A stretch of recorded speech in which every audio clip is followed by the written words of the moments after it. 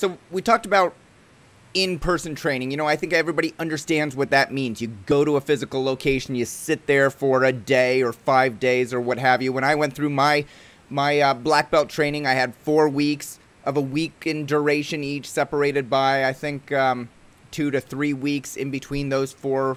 Uh, four or five weeks. I think we might have had some facilitation training as well as the uh, DMAIC training. Um, and so we understand online training where I can go and watch some videos and it'll walk me through and maybe there's some quizzes. But what does it mean to do blended learning, John? Blended learning is a combination of all those things. And um, the, the idea of the blend is to get everybody together, first of all. It's not all online, it's not all in classroom. Uh, but when you get people into class, there's a lot of wastes that take place. In fact, I'll, I'll, share with you here in a little bit the eight wastes of blended of, of classroom learning, mm-hmm.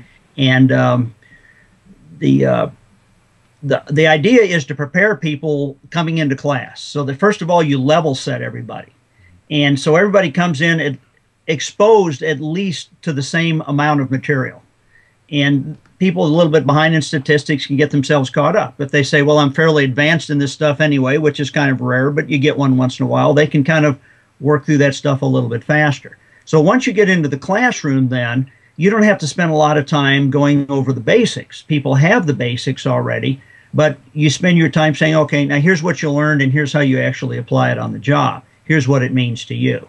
And uh, so blended learning is, is using all of these different uh, social media outlets. It can be pre-reading, it can be research on websites, it can be uh, wiki sites, uh, lots of things. There's lots of possibilities.